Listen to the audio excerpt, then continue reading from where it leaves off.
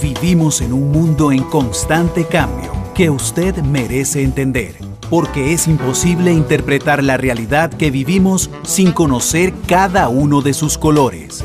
Porque muchos son los tonos de la actualidad. Presentamos Matices. Una producción de Noticias Monumental. Hola, ¿qué tal? Bienvenidos a Matices. Les saluda Randall Rivera, director de Noticias Monumental, para llevarles un programa más de eh, matices que lo que hace es que profundiza, digamos, en la realidad nacional o internacional. Esta semana hemos tenido programas muy interesantes. El lunes tuvimos a los sindicatos de un lado de la mesa, eh, a los empresarios del otro lado poniéndose de acuerdo sobre quién dirige el diálogo sobre pensiones en Costa Rica. Salió un acuerdo ahí dichosamente el lunes eh, de que sea el Estado de la Nación. Falta que el Estado se ponga, vamos a ver Falta que el, Ejecutivo se ponga de acuerdo con la caja, siendo el Estado de los dos, para ver quién dirige entonces este proceso. Em, esto fue el lunes anterior, el martes tuvimos una muy reveladora entrevista con el director del Servicio Nacional de Salud Animal, don Bernardo Jaén, este, que habló muchísimo eh, y que para algunos quedó demostrado que el SENASA no está trabajando muy bien. Eh, ayer miércoles tuvimos al precandidato de Liberación Nacional, Rolando González, con nosotros en una de las entrevistas que buscamos semanalmente con uno de los precandidatos presidenciales. Hoy jueves está Uber con nosotros, es un programa pregrabado, se hizo esta mañana, eh, se grabó esta mañana en los estudios de Central de Radios. Y mañana viernes tenemos Matices Internacional que es dedicado a las agencias de inteligencia en los Estados Unidos.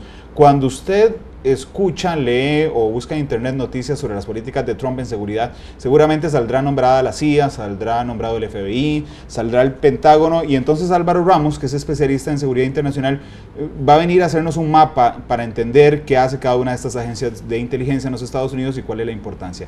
Ese es el menú completo de esta semana, así es que yo le quiero agradecer a don Humberto Pacheco, es gerente de Uber para Costa Rica y Centroamérica, Costa Rica de América Central, porque incluye Panamá. Sí, don Humberto, ¿cómo le va? Bienvenido. Buenas, don Randall, muchas gracias por tenerme aquí y buenas a Costa Rica.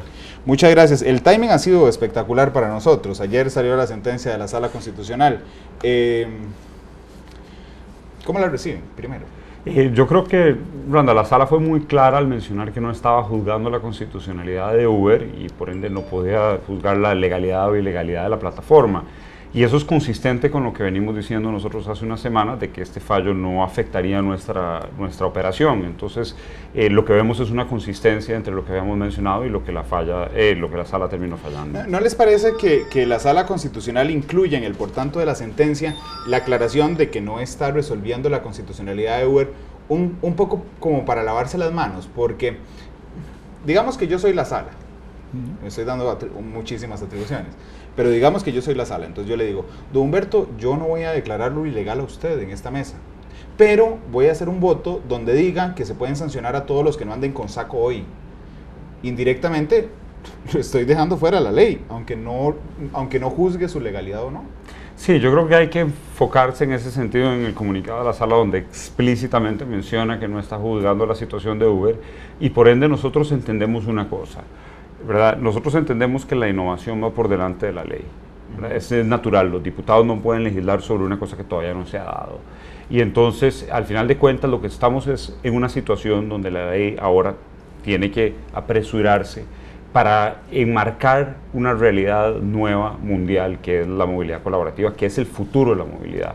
Y entonces lo que tenemos que buscar es un diálogo hacia esa dirección.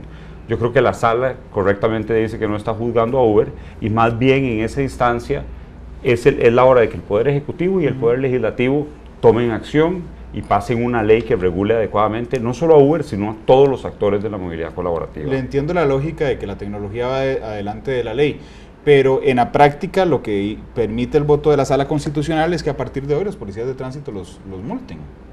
Sí, bueno, yo creo que vamos a analizar caso por caso si se dan esas multas en el momento que se den y lo importante para nosotros es que nuestros socios colaboradores, que son más de 13 mil personas en Costa Rica, que se ganan la vida usando Uber y mejoran la calidad de vida de sus familias gracias a Uber, que vamos a estar ahí para apoyarlos si se dan esas, esas situaciones.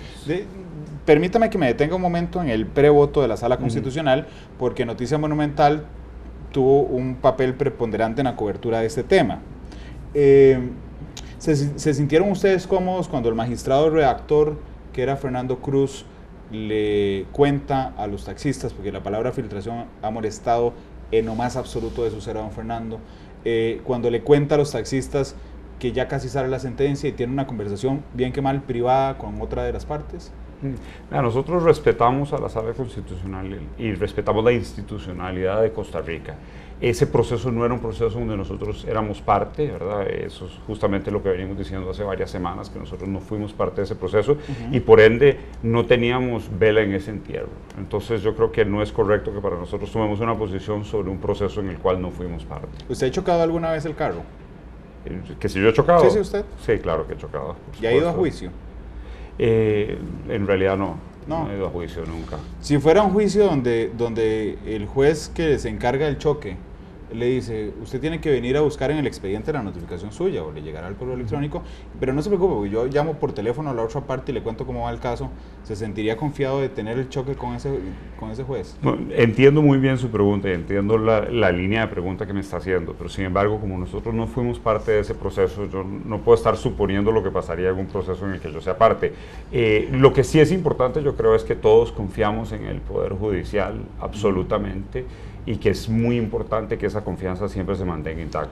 Cuando, eh, este caso a mí me llama poderosamente la atención, es, es casi la crónica de un voto anunciado, eh, en el sentido de que nunca he visto que las partes tengan, las partes y las extrapartes, digamos, las, las partes en, en, en, la, en, la, aplicabilidad, aunque no sean jurídicamente partes, tengan tan claro el resultado. Este, una semana antes los taxistas saben y lo dan a conocer o sospechan que... Eh, que el voto viene favorable a su posición, porque ellos sí son parte.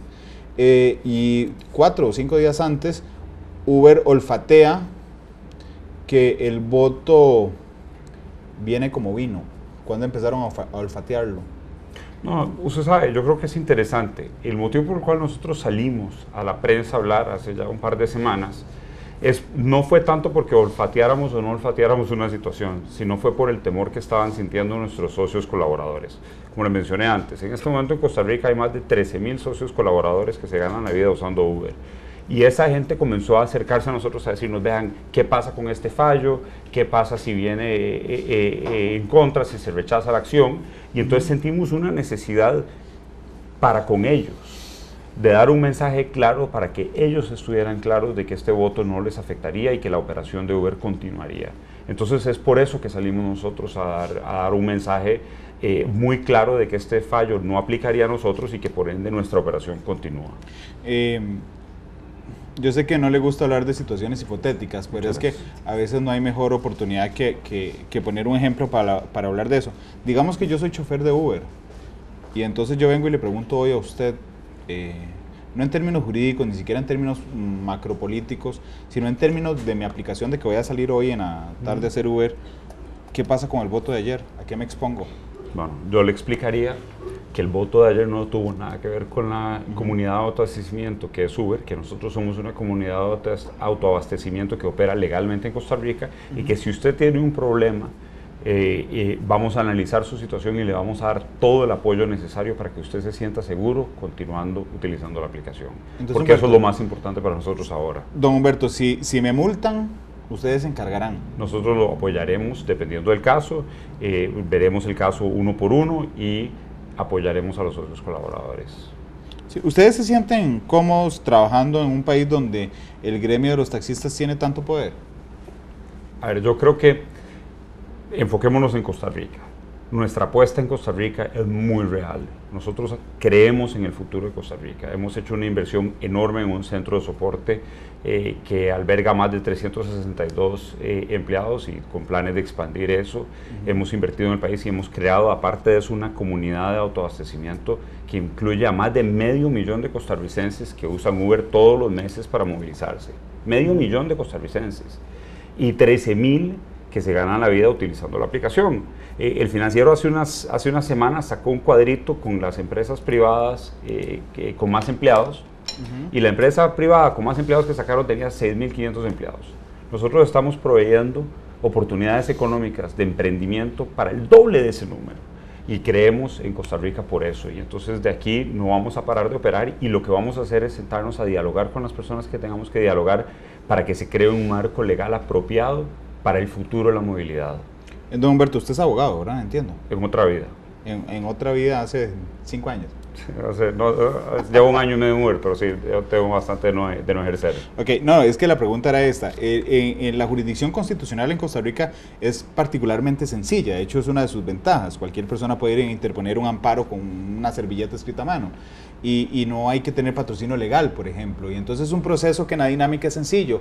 Una de las partes presenta, la otra responde los magistrados si quieren hacer una audiencia, si no, no. Pero ustedes están en una etapa más compleja también, que es, bueno, no están ustedes, y aquí quiero insistir porque si no su respuesta sería muy sencilla de que ustedes no son parte. Eh, el, el, tema de la movilidad está en el Tribunal Contencioso Administrativo, que tiene un nombre súper rimbombante, pero lo que significa en español es que el Estado está metido eh, en esto. Es un proceso más complicado donde ya no se ve el tema de constitucional, sino la legalidad. Y entonces entran a, entran a jugar un montón de leyes en Costa Rica. ¿Cómo están preparándose para ese proceso que es más complejo? A ver, yo creo que hay varias cosas importantes. ¿verdad? Nosotros naturalmente nos prepararemos para cualquier proceso que venga en el que seamos parte y, en ese sentido, o sea, no me sentiría cómodo discutiendo un caso que está en, en proceso. Sin embargo, lo que nosotros vemos es que la solución para Costa Rica tiene que ser una solución a largo plazo y que tiene que ser una solución que ponga a los ciudadanos de primero. Y eso es una solución legal en la Asamblea Legislativa.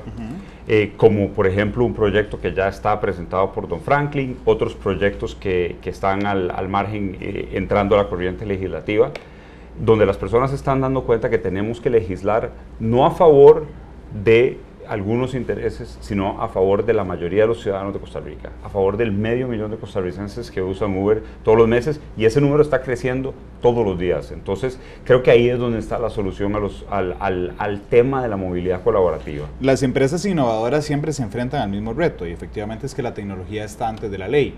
Eh, creo que Franklin Correger, su jefe de fracción del PAC, estuvo en, en estos micrófonos hace algunos meses explicándonos eh, su proyectos sobre movilidad. Pero vamos a ver, ustedes tienen un, un, enorme desafío de cara a la importancia social que tienen, que usted la ha justificado en estos números.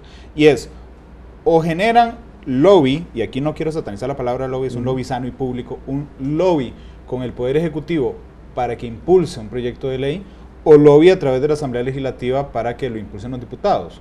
¿En alguna de las dos están? Eh, yo, primero que todo, yo no hablaría de lobby, yo hablaría del diálogo. ¿Verdad? Aquí hay muchos actores en la movilidad de Costa Rica que tienen algo que decir y más bien lo que tenemos que buscar es las mesas apropiadas para tener ese diálogo. eh, pero entonces yo creo que ese es el área donde tenemos que enfocarnos. Hemos tenido mucha apertura en la, en la asamblea, hemos encontrado personas, algunas que difieren con nosotros, otras que están eh, de acuerdo filosóficamente con, con, la movilidad colaborativa. Y lo que creo es que tenemos que sentarnos y discutir sobre esos temas, porque ese es el futuro, ¿verdad? Y entonces Costa Rica tiene que preguntarse si quiere legislar para el beneficio de los ciudadanos a futuro o no eh, y creo que esa es una conversación importantísima y, y muy provechosa que el país eh, tiene que tener. No una conversación de si va Uber o no va Uber, si va la movilidad colaborativa o no va la movilidad colaborativa, sino que cómo la llevamos adelante. De hecho, diálogo es una palabra particularmente bonita, tal vez más bonita que lobby, pero es que ustedes lo que necesitan para el trabajo de ustedes es para sus intereses, que las empresas privadas tienen intereses, si no, no serían empresas privadas, para sus intereses es convencer, convencer a los generadores de leyes de que genere un marco regulatorio que les permita a, las, a sus anchas mm. operar en Costa Rica. Eh, entonces yo entiendo lo del diálogo, pero lo que quiero saber es cómo están trabajando convencer, convencer a los diputados o a miembros del Poder Ejecutivo de impulsar reformas sobre este, sobre este tema. Ah, yo creo que definitivamente... Eh, indicar que tenemos que convencer a la gente es, es, una posición y es una manera de verlo, pero yo creo que los números hablan por sí solos, ¿verdad? Uh -huh. O sea, en este momento no solo Uber opera en Costa Rica, varias otras compañías transnacionales y nacionales están iniciando operaciones o ya están operando en el país en el espacio de la movilidad colaborativa. Entonces, esta es una realidad que aparte de los 500 mil costarricenses que ya usan Uber y los 13 mil que, que mantienen a sus familias utilizando la plataforma como socios colaboradores, yo creo que ya es claro, no solo en Costa Rica, sino alrededor del mundo, que la movilidad colaborativa es el futuro. Y entonces lo que nosotros tenemos que hacer es dialogar para exponer los distintos puntos de vista y que puedan eh, ventearse para que se pase una ley adecuada que enmarque esta movilidad. Efectivamente, convencer es un punto de vista, es un matiz, digamos, entre todos los matices que hay. Pero ¿usted está de acuerdo en que tienen que convencer? creo que la gente tiene que llegar a un convencimiento de que esto es lo correcto. ¿Y los políticos, más allá de la gente? Por supuesto. Porque la gente de, ya tienen 13 mil convencidos que conducen, tienen 500 mil convencidos que los usan. Sí, bueno, yo creo que para todos los políticos y los que aspiran a cargos políticos en el futuro, es importante escuchar la voz de ese medio millón de costarricenses y esos 13 mil costarricenses que usan eh, Uber como socios colaboradores, ¿verdad? Entonces, creo que ahí hay una parte importante de la función política es escuchar a los ciudadanos. Usted es ciudadano también. Absolutamente. Eh, no solo ciudadano, sino que representante de Uber. Eh, ¿Se han sentido con mayor apertura de algunos, en particular partidos políticos en la Asamblea Legislativa? Eh, yo creo que, bueno, es, es, interesante, ¿verdad? Porque tenemos desde don Franklin que se adelantó a, a, esto y, vio venir el tema de la movilidad colaborativa y se ha movido en eso, pero de todos los partidos con todos los partidos eh, creo que hemos tenido conversaciones eh, positivas, o por lo menos los partidos principales del país hemos tenido eh, conversaciones positivas, de nuevo, con algunos filosóficamente alineados, con otros no tan filosóficamente alineados, pero creo que en la Asamblea hay un entendimiento que este es un tema importante para el país y yo esperaría entonces que la Asamblea tome, tome acción. Déjeme apostar por los filosóficamente alineados y los no filosóficamente alineados. Usted apueste, pero no le voy a contestar. ¿Por qué no me va a contestar? Porque usted, porque usted está apostando, entonces... Eh, el, el, movimiento libertario es uno de los filosóficamente alineados. A ver, yo creo los que, que piensan parecido a usted. Sí, pero yo creo que el movimiento libertario ha sido muy vocal en, en ese sentido, Así es. ¿verdad? que sí me, sí me contestó. ¿Y Liberación Nacional? En Liberación yo creo que hay personas que han indicado efectivamente que la movilidad colaborativa es el futuro de la movilidad y que hay que encontrar la manera correcta de enmarcarlo. ¿Quiénes? De los diputados de Liberación. Eh, yo creo que eso es una pregunta que usted le tiene que hacer a cada miembro de, de esa bancada para que le expongan ellos. No quisiera adelantar criterio por otra gente. Claro, pero no lo estaría adelantando, es que ya usted conversó con ellos.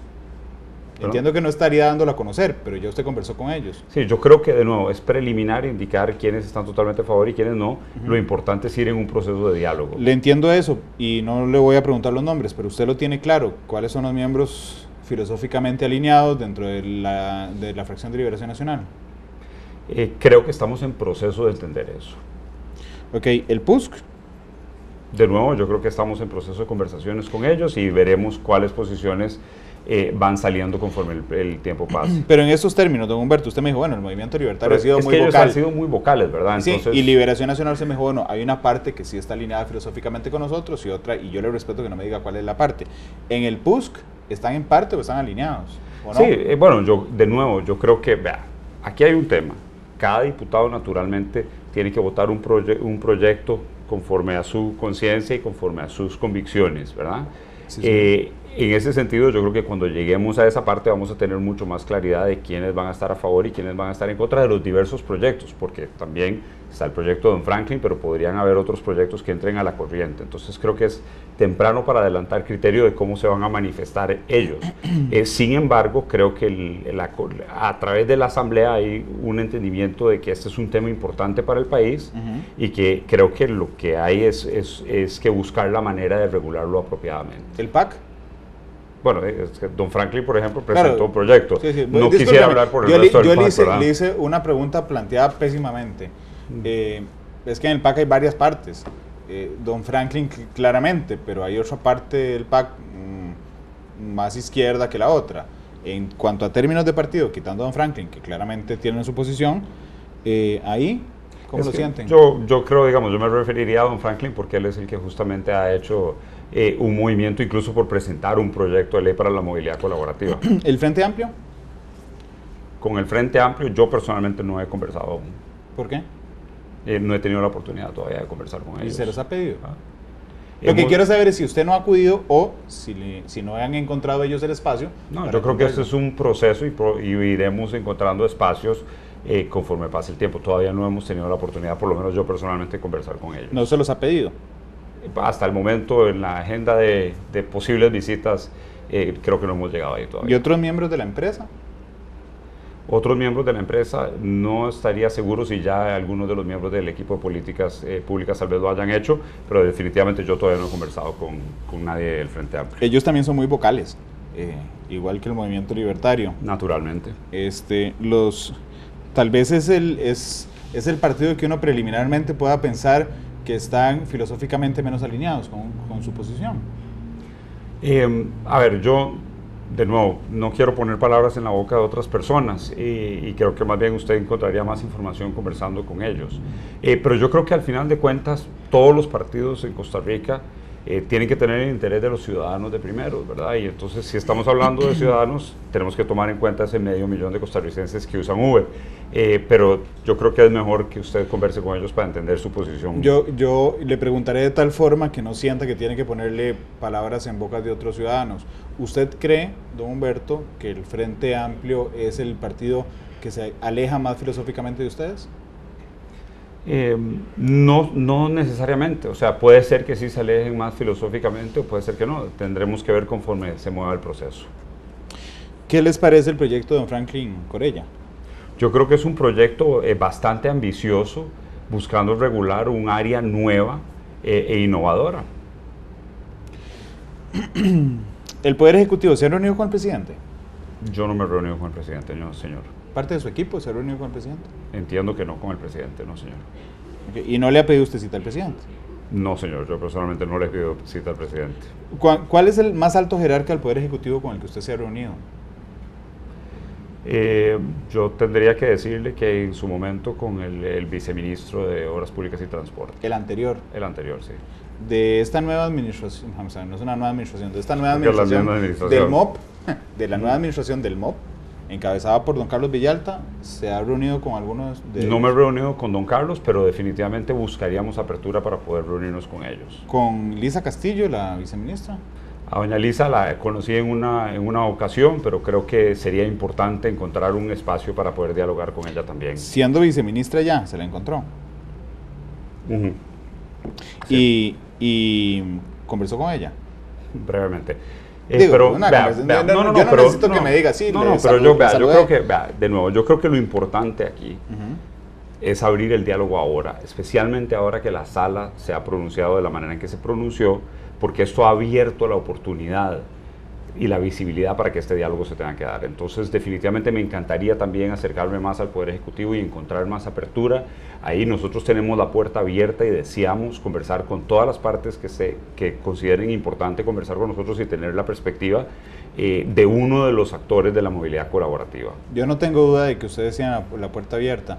Em, la duda que quiero consultarle a usted, porque es el único que me la puede responder, es si, si usted ha encontrado puertas abiertas en el Poder Ejecutivo o simplemente es que no ha pedido reuniones ni con doña Lisa, ni con don Carlos, ni con el ministro de la Presidencia Sergio Alfaro, ni con el viceministro Luis Paulino Mora. Sí, yo creo que, a ver, em, yo personalmente no he solicitado esas citas y, y, si fuera prudente entonces lo podríamos hacer y podríamos buscar un espacio para conversar ahí. Hasta el momento no le ha parecido prudente. Hasta el momento yo creo que había una, una sensación en el gobierno que había que esperar cómo se pronunciara la, la sala, ¿verdad? Eh, algunos eh, eh, actores han interpretado que la sala se iba a referir específicamente al caso de Uber o iba a estar más inclinada a dar una indicación sobre Uber y por eso yo creo que era prudente dar un espacio a la sala para manifestarse. Ya la sala se manifestó y entonces creo que esto abre la oportunidad apropiada para el diálogo. Eh, qué interesante la frase que usó. Usted me dijo, creo que había una sensación en el gobierno de que era prudente esperar. ¿Y en ustedes? En nosotros, más bien, la sensación es que este fallo no iba a aplicar a nosotros y que teníamos que continuar con nuestra operación. Y ese es el enfoque nuestro. El enfoque mío es en nuestra operación, en la comunidad de autoabastecimiento, en los usuarios que tenemos y en los socios colaboradores. El enfoque mío por el momento es saber si fue una estrategia de ustedes no conversar con el Poder Ejecutivo mientras ese tema estaba en la jurisdicción constitucional? Yo no lo llamaría una estrategia nuestra, no. ¿Una decisión? Eh, una decisión, no, porque yo creo que básicamente hemos estado dando nuestros esfuerzos más a la, Asamblea, eh, buscando, porque entendemos que el futuro para Costa Rica está en el marco legal. Ok, ahora bajemos un poquito al piso, porque le decía que en la práctica Hoy un conductor de Uber saldrá a la calle esta tarde a hacer Uber y la preocupación mayor, supongo yo, será si lo van a multar o no lo van a multar y qué pasa si lo multan después del voto de la Sala Constitucional. Usted ha sido claro que analizarán desde la empresa caso por caso para darle el apoyo completo. Absolutamente. Ya ahora que eso está claro, les buscaría un acercamiento con el ministro de Obras Públicas y Transportes para preguntarle cuál va a ser, por ejemplo, la posición de la Policía de Tránsito respecto a ustedes? Bueno, yo creo que él hizo la posición del Ministerio de Obras Públicas y Transporte clara, aunque uno ya nunca sabe si está leyendo las noticias correctas o no en el Internet. Lo que tiene que hacer es meterse a la página monumental. Ahí, puede ahí siempre sale la información correcta. No, pero yo creo que, vean, de nuevo, nosotros hacemos un llamado al diálogo si es para conversar de cómo va a actuar la policía o no, yo no creo que ese es el enfoque que, que, tengamos que tener. El enfoque que tenemos que tener es uno sobre el futuro de la movilidad en Costa Rica y las cosas que tienen que pasar para que los ciudadanos se beneficien de ese futuro de la movilidad. Claro, pero a ustedes, a ustedes les preocupa, usted lo ha dicho varias veces, eh, su prioridad son los 13 mil colaboradores de Uber y los 500 mil usuarios al mes de Uber o los 362 no, no, no. 362 son los, los empleados de Uber que están en el centro de, eh, eh, de servicio que tenemos, ¿verdad? Es una este, comunidad grande. Sí, porque, porque entonces sería una, sería una preocupación mayor, con base en lo que usted ha dicho, de estos 13 mil colaboradores, de saber, saber si la policía de tránsito a partir de hoy va a arrancar una cacería de brujas para identificar a los choferes de Uber o simplemente será que casualmente se encuentren a uno, lo multen y ustedes analicen ese caso. Sí, yo creo que lo importante para los socios colaboradores es saber que vamos a estar ahí por ellos. Como lo estuvimos desde el principio de la operación, ahí vamos a estar por ellos. Entonces ellos pueden tener la tranquilidad de que el número uno, lo que están haciendo es legal porque nosotros somos una comunidad de autoabastecimiento de necesidades de movilidad en común. ¿verdad? Es una figura definitivamente legal y entonces ellos están bien y vamos a apoyarlos si hay cualquier situación de tránsito. Yo entiendo que, que sean legal para ustedes bajo su concepto, pero en la, en la práctica yo no, no podría sostenerle que son ilegales. Lo que le puedo sostener es que están en, un, en una ambigüedad legal por el sistema legal costarricense. Yo creo que usted más bien lo mencionó correctamente, usted no puede sostener que son ilegales eh, y de nuevo, aquí estamos ante esta situación donde la innovación va por delante de la ley. Pero eso no quiere decir que la innovación sea ilegal.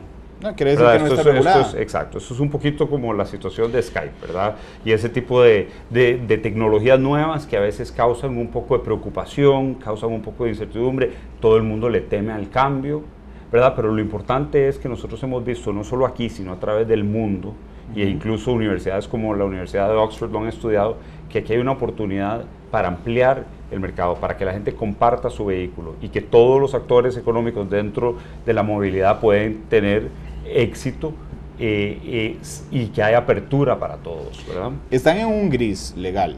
En un gris legal es que lo blanco sería lo legal, bueno, voy a ponerlo al revés, lo blanco sería lo ilegal y lo negro sería lo legal. Ustedes están en el gris y no por culpa de ustedes, ni siquiera por la práctica, es porque efectivamente el orden natural de las cosas es que la innovación venga antes de la ley.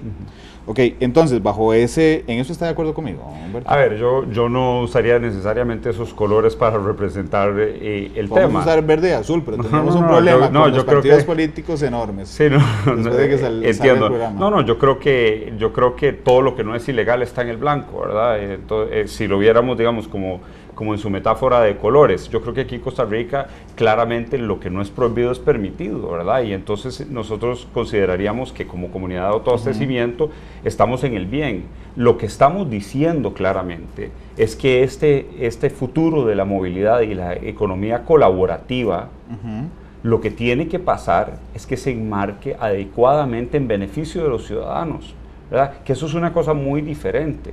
Nosotros lo que estamos diciendo es que, claro, tiene que haber seguridad jurídica, tiene que haber reglas claras, tiene que haber un ganar-ganar, pero eso no quiere decir que estamos en una situación gris como lo llaman ustedes. Es muy interesante porque efectivamente en el derecho privado lo que no está prohibido por ley es permitido, tiene razón usted. Eh, lo que pasa es que quienes ejecutan la ley, que son las policías de tránsito, la RCEP, el Ministerio de Obras Públicas y Transportes, tienen un principio diferente, porque en la ley de administración pública lo que no está permitido por ley no se puede hacer. Ellos solo pueden hacer lo que está permitido por ley. Ahí, ahí es donde se da esa mezcla de colores, que sale una plasticina súper gris, don Humberto. Ok. ¿Le parece? Eh, usted puede sostener que son legales. Es que, digamos, en términos, en términos jurídicos, ¿usted puede sostener hoy que son legales? Yo puedo sostener que nosotros no estamos haciendo nada ilegal. No, por eso, yo eso lo entiendo. usted puede sostener no, que son entonces, entonces eso lleva de nuevo al tema de que lo que hay es una innovación que está por delante de la ley. Y entonces, si alguien va a sostener que nosotros somos ilegales o va a multar a alguno de los socios colaboradores, analizaremos ese caso y apoyaremos a los socios eh, mientras continuamos con un llamado al diálogo, que es lo que necesita el país. Diálogo para llegar a una ley que enmarque la movilidad colaborativa ¿Me puede elaborar un poco más ese apoyaremos a los, porque hay un montón de choferes Uber que oyen el programa, eh, ¿me puede decir a qué se refiere con apoyaremos? bueno, vamos a analizar caso por caso. Si se necesita un apoyo eh, legal, naturalmente que Uber estará ahí para apoyar. La apelación de la multa. Sí, si fuera del caso. Sí. Permítame poner un ejemplo también en este, en este caso. Hoy en la tarde un policía de tránsito detiene a un chofer Uber y le hace una multa, bajo la norma que ayer resultó constitucional. Entonces, eh, que no los afecta solo a ustedes, pero digamos, utilizando esa norma se multa. Ustedes analizan ese caso, ¿verdad? Eh, el chofer va y les dice, señores, me multaron hoy en la tarde, pues aquí está la, boleta. Entonces, ustedes se hacen cargo, bajo, ese, bajo, bajo esa norma, yo no digo en ninguna otra, de la apelación se hacen cargo ustedes. Nosotros apoyaríamos al socio en el proceso de apelación. Ok. Si pierde la apelación, ¿ustedes asumen el pago de la multa? Yo creo que ahí de nuevo estamos hablando de una suposición, pero en ese caso revisaríamos y si tuviéramos que apoyar al socio, apoyaríamos al socio. De nuevo, lo importante aquí yo creo, y, de verdad, porque este, como usted dice, hay muchos socios colaboradores que están oyendo este, este programa o que van a oír este programa hoy. Y lo que nosotros les decimos a ellos es que estamos aquí para apoyarlos, que estamos con ellos, que ellos son parte de la comunidad y que son importantes para nosotros y que por ende los apoyaremos si se da una de estas situaciones. Revisaremos el caso y dependiendo de los temas específicos del caso estaremos ahí para apoyarlos. Don Humberto, voy a confesarle una cosa. A mí me encanta cuando mis entrevistados dicen lo importante aquí, porque yo respeto lo que sea importante para usted, pero para mí hay un montón de cosas importantes también. Entonces, este, ¿qué pasa con los puntos en la licencia? Ahí no, ustedes no pueden decir a la policía de tránsito, hey, suave, eh, quítesela a Randall Rivera y se la pasan a Humberto Pacheco, porque vamos a apoyar a los conductores. Es que los, puntos le van sumando en la licencia. Sí, bueno, yo creo que en ese caso, ¿verdad? De nuevo, los puntos se suman en la licencia al final del proceso. Entonces, si hay un proceso que apelar, si hay un tema legal que apelar, estaremos ahí para apoyar a los socios. ¿Qué pasa con los casos, con los casos violentos? Eh, cuando los taxistas agarran a choferes Uber y los encierran y les ponen camas y les ponen trampas. ¿Cómo van a hacer para, para luchar contra eso? Ok, yo creo que ningún país necesita violencia, ¿verdad? Y los incidentes de violencia que se han dado, que yo no creo que son representativos de todo el cuerpo de los taxistas, sino que han sido instancias específicas, en esos casos también hemos apoyado a los socios, los hemos apoyado legalmente, los hemos apoyado con todo lo que ellos necesiten en esas instancias.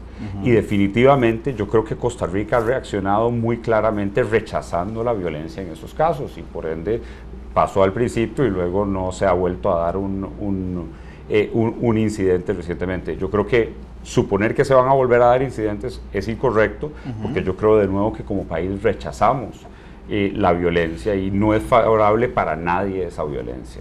Y suponer que no se van a dar no puede resultar irresponsable. A ver, yo creo que nosotros tenemos que estar preparados para cualquier situación, ¿verdad? Pero definitivamente lo que indicamos es que Costa Rica no necesita violencia y que violencia no es el camino que ha proveído, que ha resultado ser provechoso para nadie. Eh, ¿Ustedes le dan recomendaciones de seguridad a sus colaboradores? En la comunidad, en realidad yo creo que es importante entender que la comunidad tiene mucho apoyo entre sí, los socios se cuidan mucho entre ellos también y definitivamente nosotros los apoyamos eh, también en esa instancia. Vamos a ver, si yo fuera chofer Uber, no voy y, iba a decir levantar a alguien, pero bueno, eso es un término muy de calle.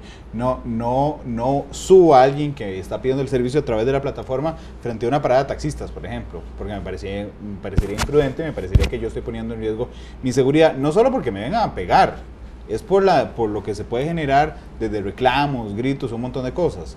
Este, esas recomendaciones no surgen de Uber. Esas recomendaciones no surgen directamente de nosotros en el sentido de que los, de que los socios se... Eh, a ver, yo creo que hay dos cosas. Uno es, los socios entre sí se van dando consejo y van entendiendo y van aprendiendo y van usando sus mejores instintos a la hora de participar en la comunidad pero a la misma vez también le puedo decir que se dan muchas, muchas instancias donde una persona es recogida y hay taxis alrededor y no pasa absolutamente nada, porque no todos los taxistas son malos. Y decir que solo porque haya un, eh, una persona que pida un Uber enfrente de una eh, estación de taxi no significa que le va a pasar nada a esa persona, ni significa que le va a pasar nada al socio colaborador, porque no todos los taxis son violentos y no todos los taxistas son malos. Entonces yo creo que no podemos hacer una aseveración como la que usted está haciendo. O sea, ese, eh, de nuevo, ese escenario hipotético que se está planteando, se lo está planteando usted y no es un escenario que estoy planteando yo. Ahora, definitivamente como le digo anteriormente, lo importante es que los socios de la comunidad se sientan apoyados por nosotros porque aquí estamos por ellos. El, cuando ustedes toman la decisión, que entiendo que no fue solo Costa Rica, de permitir, por ejemplo, el pago en efectivo, eh, ¿cómo, les ha ido con eso? Nos ha ido bastante bien con el pago en efectivo. Efectivamente, el, el efectivo, lo que pasa con el efectivo es que permite que una persona que quiera probar Uber puede hacerlo sin tener que meter una tarjeta de crédito. Hemos visto un comportamiento en Costa Rica de bastantes personas que hacen su primer viaje en efectivo y luego se pasan a tarjeta de crédito porque es más conveniente, o tarjeta de crédito o débito, porque es más conveniente, porque termina el viaje y no tiene que esperar o hacer eh, cambio y todo eso pero definitivamente le da la oportunidad a las personas que tal vez al principio no quieren ingresar su información crediticia eh, por miedo de utilizar plataformas eh, electrónicas con, con, crédito u otros motivos, de que prueben ese primer viaje con efectivo. Eh, algunos continúan pagando con efectivo y otros eh, se pasan a tarjeta de crédito y débito, ¿verdad? ¿Tiene usted algún dato de cuántos usuarios de Uber utilizan efectivo y cuántos utilizan la tarjeta en Costa Rica? no le puedo dar ese dato específico, pero la gran mayoría de los miembros de la comunidad utilizan tarjeta de crédito o débito.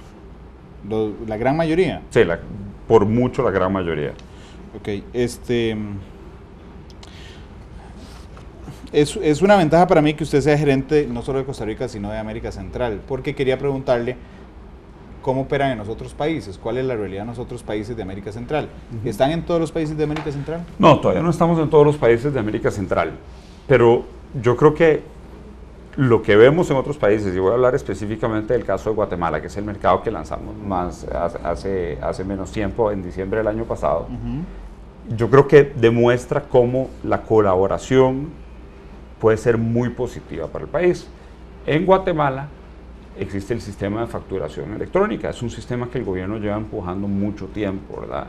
No todas las compañías han adaptado la facturación electrónica y ha sido un proceso lento. Entonces, cuando Uber entró ahí, nos dimos cuenta que eso era un tema importante para el gobierno y entonces hicimos una integración de nuestra plataforma tecnológica con la facturación electrónica del país y entonces la administración tributaria recibe al final de cada mes facturas electrónicas de todos los viajes que se hacen en Uber ahí, ayudando montones a la formalización. Eh, no cabe dentro de mi territorio, pero en México también hemos hecho, digamos, un acuerdo con la, con la administración eh, tributaria para que la administración tributaria pueda estar presente en los centros de activaciones y tienen una persona ahí ayudando. Entonces, si un socio llega y no está registrado con la, con la administración tributaria, lo ayudan a registrarse antes de hacerse miembro de la, de la, de la plataforma. Y yo creo que esos son ejemplos muy importantes donde podemos encontrar apertura en el gobierno y donde podemos encontrar un, un rango de cooperación en beneficio del país para llegar a la formalización. Claro. ¿Aquí han sentido colaboración del gobierno? Hasta el momento no se ha dado una oportunidad de colaboración del gobierno, pero pensamos que ahora que el fallo de la sala eh, eh, ya se dio, claramente todos los actores entendemos que es el momento de diálogo y entonces buscaríamos todas esas oportunidades con el gobierno. Acaba de hacer algo que, que pasó criticando toda la entrevista, es que le puso palabras en bocas de otros. Me acaba de decir, todos los actores entendemos que es el momento del diálogo. Yo entiendo que usted lo entienda. tiene razón. Yo creo, tiene toda la razón usted. Entonces yo lo que haría más bien es de nuevo nuestro llamado al diálogo, aprovechando este momento para que el Poder Ejecutivo y el Poder Legislativo puedan tomar acción y crear un marco regulatorio apropiado para la inmovilidad colaborativa. Le agradezco la corrección. Déjeme, con todo gusto, Humberto, déjeme eh, repasar mis clases de geografía del colegio. Están en Guatemala, entraron en diciembre. ¿Están en El Salvador? Todavía no. ¿Están en Honduras? Todavía no. ¿Están en Belice? Todavía no están en, Estamos en Guate, Costa Rica y Panamá. ¿En Nicaragua no? En Nicaragua todavía no tampoco. Pero ojo que uso todavía, porque nos encantaría explorar los otros territorios y ir pudiendo avanzar en, Centroamérica y traerle los beneficios de la plataforma y de la comunidad a cada uno de esos países. ¿Están explorando en alguno? Ya, en ese instante. Eh, Eh, estamos, inmediato, eh, sí, bueno, de nuevo, el proceso, el proceso de lanzar un país eh, toma su tiempo y toma mucha investigación, ¿verdad? No solo para entender el, el ámbito político, sino también el ámbito tecnológico de cada uno de los mercados. Pero estamos comenzando a ver, ya que hemos lanzado Guatemala, ahora estamos comenzando a analizar los otros tres países eh, para ver a dónde sería correcto intentar un inicio de operaciones. En Panamá, ¿cómo les va? En Panamá nos va muy bien, fue la primera ciudad de América Central que se lanzó eh, y, y es una operación que anda muy bien con muchos usuarios también allá. ¿Y colaboración con el gobierno? Hemos tenido definitivamente desde el principio yo creo que una, una relación eh, abierta con el gobierno eh, y, y creo que hacia futuro la intención allá también es construir un marco legal que permita darle seguridad jurídica a la movilidad colaborativa. En, en Guatemala le, le- se levantaron los taxistas, los buenos y los malos, contra ustedes. Eh, hasta el momento de ahora no hemos tenido un levantamiento. tres meses. Sí, llevamos poco tiempo. ¿En Panamá? En Panamá ha habido algunas manifestaciones en contra de Uber, pero, pero definitivamente yo creo que la experiencia ya es muy positiva. En los dos países hay tribunales constitucionales. Eh, ¿Alguien nos ha llevado, como en Costa Rica, el tema al Tribunal Constitucional? A mi entender, no. No han tenido que enfre- enfrentar procesos legales en ninguno de los dos. Hasta el momento no, ¿verdad? ¿Podemos confirmar eso? No. Hay que, hay que, eh, han tenido que generar también el interés por legislación que venga a regular la movilidad. Sí, yo creo que eh, para Uber a nivel global, no solo a nivel de Costa Rica, sino en todos nuestros países, nuestra intención es que haya un marco regulatorio para la, la movilidad colaborativa. Nosotros somos una empresa que busca esa regulación, en realidad de, de querer que no haya ninguna regulación del todo, porque entendemos que la innovación vino primero que la ley y que lo que es bueno ahora es tener un marco con las reglas claras para todos los actores. Este, ¿Ustedes sienten seguridad jurídica en Guatemala Eh, sí, bajo su operación? Por el momento la operación ha sido muy, muy, muy positiva. Hemos tenido apertura con, eh, con el gobierno, hemos tenido apertura con la municipalidad y definitivamente sentimos eh, seguridad jurídica operando allá. ¿Ustedes sienten seguridad jurídica en Panamá? También, ¿Ustedes sienten seguridad jurídica en Costa Rica? hasta el momento nuestra operación continuará operando y continúa bien y no veo por qué no habría seguridad jurídica en Costa Rica. ¿Siente seguridad jurídica cuando, cuando no saben si hoy en la tarde les van a multar a los choferes? Nah, yo creo que una cosa es sentir, eh, a ver, si tiene usted razón en su pregunta en un sentido. Yo creo que hablar de seguridad jurídica implica automáticamente que tenemos que hablar de un marco legal para la innovación. Entonces creo que tenemos que movernos hacia eso. Ahora, un- seguridad jurídica en el sentido amplio de la palabra es la confianza que tenemos en los tribunales y es la confianza que tenemos en las leyes del país. Y en ese sentido yo no podría decirle que no siento seguridad jurídica en ninguno de los países donde operamos. Estoy seguro que son absolutamente respetuosos eh, so- en la legislación, pero es que vamos a ver, una cosa es decir, sí, yo confío plenamente en las leyes y otra cosa es que cuando a usted le plantean un caso, usted no tenga idea de cómo va a resolver eh, el país. eh, porque no existe jurisprudencia, porque la norma es muy ambigua, porque no hay un marco regulatorio. Ujú. Este, Costa Rica avanza más lentamente que Guatemala y que Panamá en cuanto a la regulación de la movilidad. Eh, es difícil decir si vamos a movernos más lentamente o no. Yo creo que es un proceso que va encaminándose en cada uno de los, de los países a su ritmo y no, no compararía, digamos, el proceso en términos de velocidad o no velocidad. Ahora, eh, eh, posiblemente usted tenga estadísticas sobre lo que dura en pasar una ley en Costa Rica versus lo que dura en otros lados Sí. y nuestro proceso es el proceso por el cual tenemos que pasar. Pero yo creo que es Claro. importante enfocarse en cada país directamente. Entiendo, enfoquémonos en Costa Rica. ¿Cómo calificaría la velocidad costarricense para legislar sobre movilidad?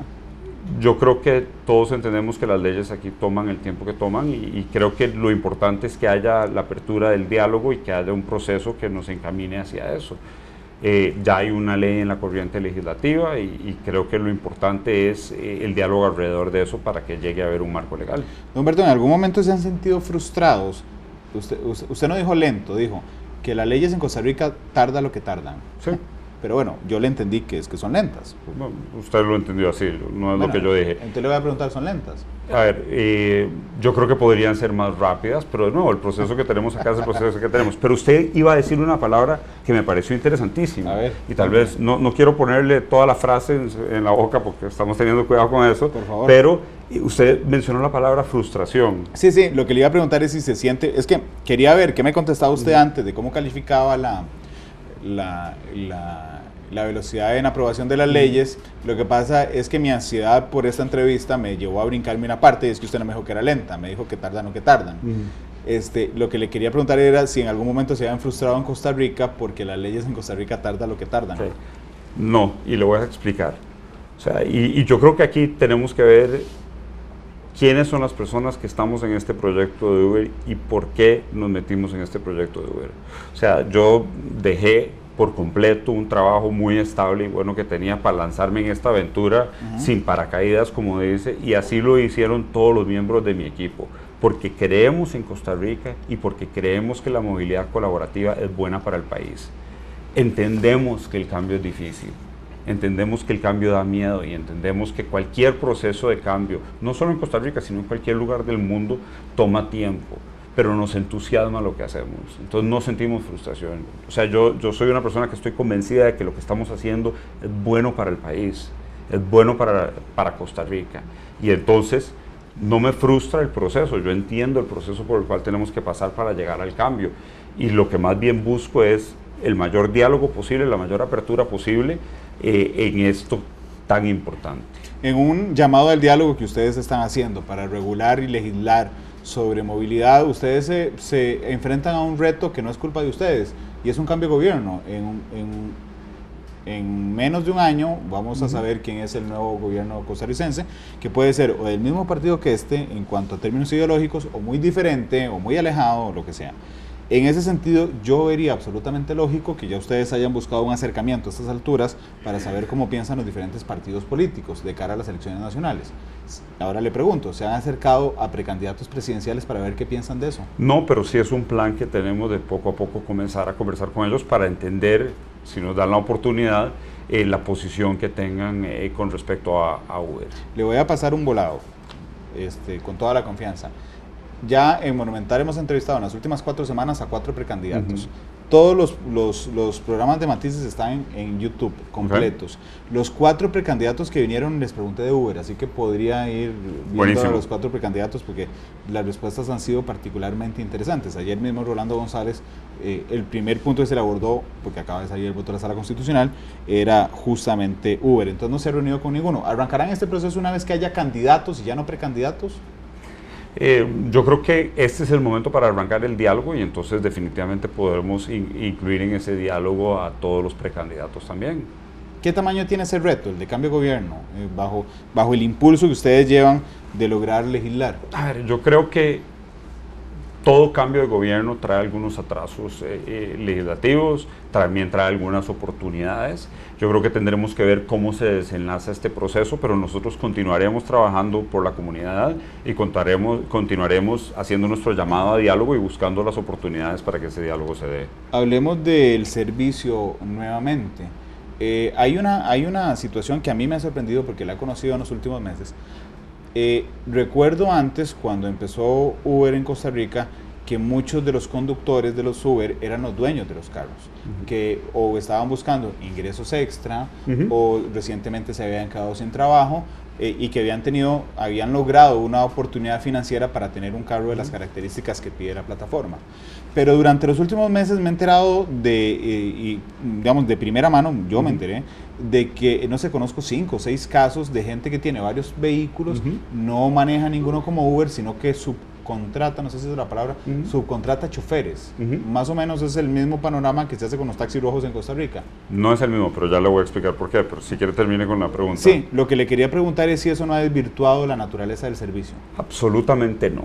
Y le voy a decir, la gran diferencia que hay en este sentido, y gracias por la pregunta, porque este es un tema que es importante para Costa Rica, ha surgido en algunas eh, oportunidades, pero me encanta la oportunidad de contestarlo. Vea, cuando nosotros hablamos de taxis o cuando se habla de taxis hay un número limitado de taxis. Entonces una persona que aspira a tener una placa de taxis tiene que pasar por un proceso y, puede ser que nunca lo obtenga, ¿verdad? En Uber nosotros no creemos que es prudente eh, limitar el número de Ubers que hayan, ¿verdad?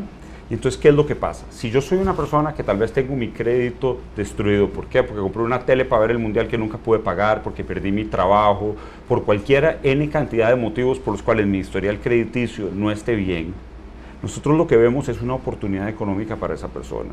Entonces, esa persona busca a alguien que le alquile el carro o que tenga una relación de, laboral con esa persona, con otro socio, o, ¿verdad? Y comienza a manejar y comienza a crear un historial de ingresos en Uber. Y entonces pasan unos meses, primero que todo le da una oportunidad de ganarse la vida y segundo que todo le da una oportunidad de ir creando este historial para poder decir, vea lo que yo he manejado, vea lo que yo he generado.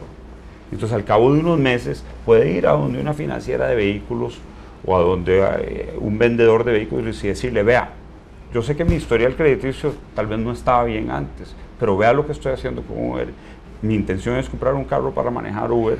Eh, y entonces eso le va a dar una oportunidad económica a esta persona y va a poder independizarse y convertirse en su próximo, eh, en su propio empresario, ¿verdad? Entonces lo que vemos es un círculo virtuoso. Una persona que tal vez no tenía el mejor historial crediticio entra a la plataforma, tal vez en una situación no, no en su situación idónea, pero luego se puede convertir en, su, en empresario y tener su propio emprendimiento y eventualmente si puede mantener esa operación y financiar un segundo vehículo, entonces puede darle esa oportunidad a una persona más mientras se beneficia a él y así vamos creando este círculo eh, virtuoso. Entonces más bien se crea oportunidad económica y lo vemos como muy positivo, porque esa persona que entra no tiene ningún limitante a convertirse en un socio propio, de su, eh, dueño de su propio negocio. La, gran, quiero entender bien cuando usted me dice la gran diferencia entre esto y lo que pasa con los taxis. La gran diferencia es la formalidad que existe en el ingreso. No, no, no, no. La gran diferencia no es la formalidad. Para este caso específico, porque usted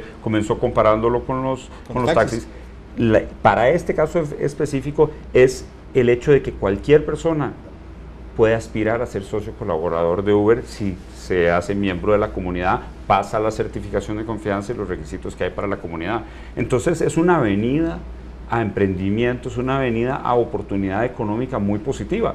Y lo que no queremos es cerrarle la puerta a una persona que porque tenga un historial crediticio malo o porque haya tomado unas decisiones erróneas antes, no pueda comprar su propio vehículo todavía y más bien buscamos esa manera de darle la oportunidad a esa persona para que se pueda convertir en su propio empresario. Realmente, don Humberto, discúlpeme mi ignorancia, pero es que no entiendo la diferencia, porque si yo soy una persona que tengo un, pésimo historial crediticio y voy a ir al kilo del taxi a una persona que tiene taxi, o sea, que, tiene, que es dueña del taxi, y entonces yo le pago una cuota, no sé, de 10 mil al día y el resto me lo dejo yo. Y si también, si yo ahorro esa plata, también puedo ser taxista mañana y es otro emprendimiento. No, no entiendo cuál es la No necesariamente, porque hay un número limitado de placas de taxi. Entonces, salvo que esa persona le adjudiquen otra placa de taxi en algún otro momento, si se llega a adjudicar otra placa en otro momento, esa persona nunca puede aspirar a ser dueña de su propio negocio, nunca puede aspirar a comprar su propio taxi. Entonces, la diferencia es el límite. En cambio, en Uber tiene la oportunidad de hacerlo, porque en el momento que crea ese, ese historial crediticio, entonces puede comprar su propio vehículo, puede convertirse en su propio empresario y no tiene que seguir trabajando para otra persona. Eh, entonces, ese es, un, ese es un tema. Ahora, un segundo tema, que no es un tema de nuestra discusión, es eh, si ese modelo que utilizan los taxis es contemplado dentro de la legislación o no. Yo creo que ese es, otro tema. Eso es un tema de ellos, ¿verdad? Pero para efectos de Uber lo que nosotros vemos es la creación de oportunidad. Ok, no es un requisito para Uber, entiendo, que el conductor sea el dueño del vehículo.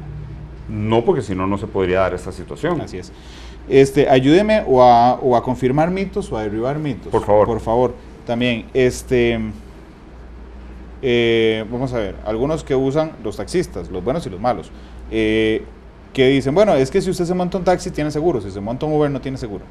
Aquí en Costa Rica eh, hay un seguro que se llama el seguro de chofer APP de Qualitas, que es específicamente hecho para aplicaciones.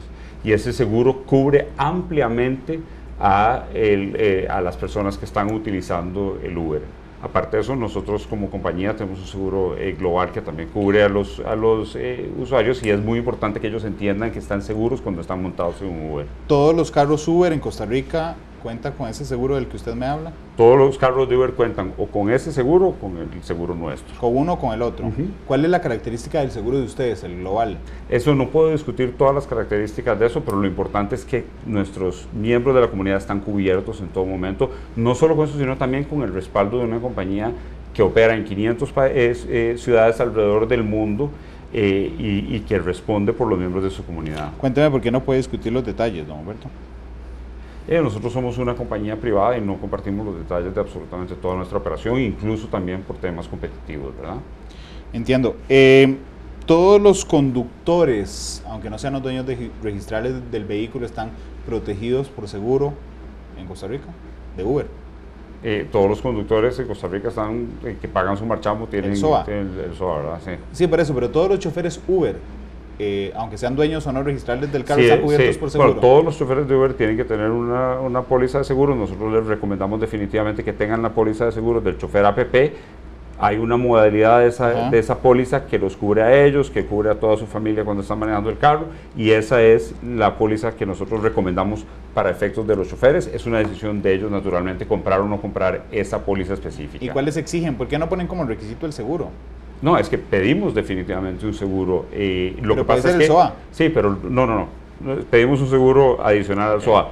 Y lo que pasa es que el, el, lo lo importante ahí, o, perdón, no lo importante, pero la decisión que tiene. se sí, regañado. Ah. Sí, no se preocupe, pero la decisión que tiene el socio de si quiere una cobertura más amplia o no quiere una cobertura más amplia para el socio en sí, esa es una decisión de él independiente. Él no es un empleado de Uber. Entonces él puede decidir si quiere comprar el seguro de chofer APP que solo cubra a, a, terceros o si quiere comprar el seguro de chofer APP que lo cubra a él y que lo cubran toda a su familia de todas esas instancias. Esa es una decisión ya del socio colaborador que no es empleado de Uber. Ok, entonces ya no hablemos de los 13 mil socios colaboradores que tienen en su poder decidir si adquieren un seguro solo para terceros o para ellos mismos. Hablemos de los 500 mil ticos que usan al mes. ¿Esos todos están cubiertos por seguro? Esos todos están cubiertos. Eh, ¿Me puede decir, vamos a ver cómo le planteo la pregunta de manera clara, ¿me puede decir cuál es el mínimo de cobertura para la gente que usa Uber? No, no le puedo dar esa cifra, perdón porque no la conoce o por un detalle de privacidad por comercial? Un, por un tema de privacidad comercial. Entiendo.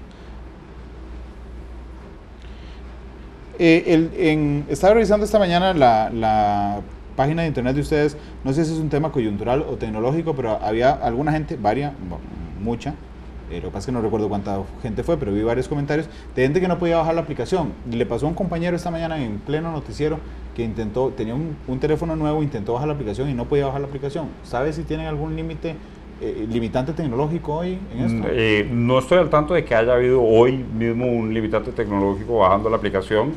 Eh, pero definitivamente es un tema que vamos a revisar. ¿La han tenido? A ver, la tecnología en algunos momentos definitivamente tiene interrupciones, ¿verdad? pero nosotros mantenemos un, eh, un, estándar de calidad muy alto en términos del servicio, pero vamos a revisar ese tema que usted me menciona. Eh, hubo un problema también, en algún momento eh, lo pude comprobar con varios usuarios, yo cinco o seis usuarios lo comprobé, cinco, para ser específico, de gente a la que le costaba mucho registrar su tarjeta de débito. ¿Ah, sí? Sí. Vea, si usted me da, bueno, tal vez ahora. Se le rechazaba el, sistema, ¿no? Sí, no, no, ahora en el programa, pero si me, me, puede indicar de qué banco eran esas, esas tarjetas de débito, podemos hacer una, una revisión de qué motivos se habrá detrás de eso. Lo, que quería, por supuesto, no, no, no era preguntarle los casos específicos, era preguntarle si habían tenido masivamente algún problema. No, no, no hemos tenido masivamente un problema, pero más bien me interesa mucho entender esos cinco casos para, para ver si hay algún problema en la tecnología que esté impidiendo que cierto BIN de tarjeta de crédito o cierta instancia no se pueda, no se pueda registrar, pero no hemos tenido un problema eh, amplio en ese sentido.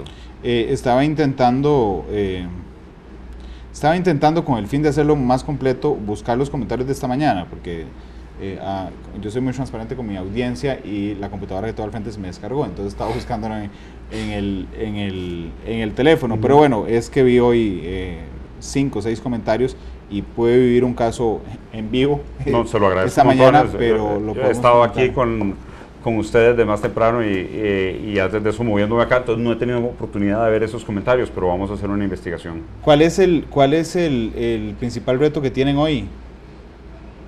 El principal reto que tenemos es eh, continuar eh, ampliando la comunidad y creciendo y dando un servicio de altísima calidad para los miembros de la comunidad, tanto los usuarios como los socios colaboradores. Ese yo creo que es el, el reto que tenemos siempre, ¿verdad? Eh, conforme más se amplía la, eh, la, movilidad colaborativa, más jugadores hay en la movilidad colaborativa, es más y más importante que sigamos dando el mejor servicio posible.